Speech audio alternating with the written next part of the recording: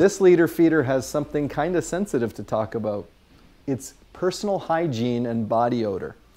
Nothing freaks out a supervisor or manager more than when they know they have to talk to somebody or have a conversation about their personal hygiene or body odor.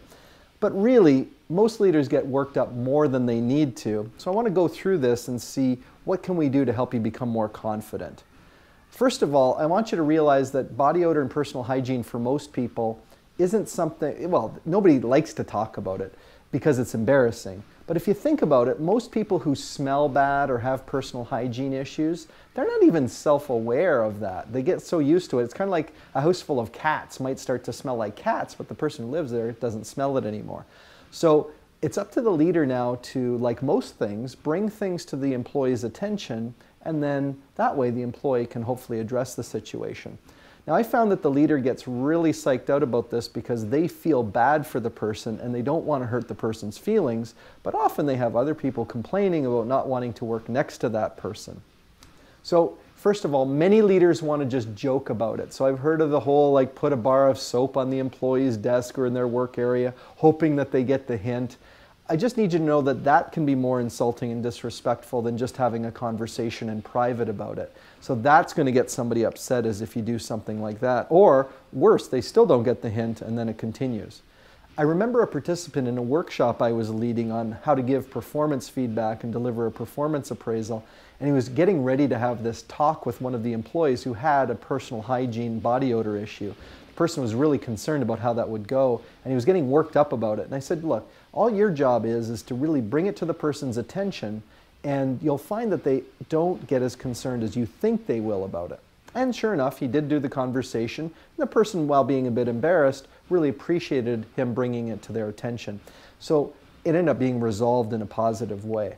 Now, if you think about it, that is probably the most difficult thing is you thinking about having this conversation. It's best if the manager makes a personal observation rather than bringing up that other coworkers have complained. So it's not as good to say, I'm hearing that you, you stink and nobody wants to work with you.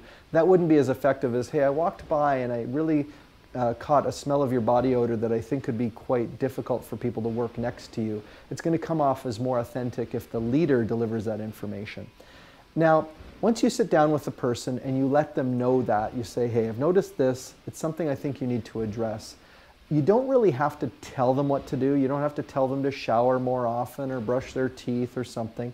What you need to do is bring it to their attention and then ask, how could you make this a bit better in terms of your personal hygiene or body odor?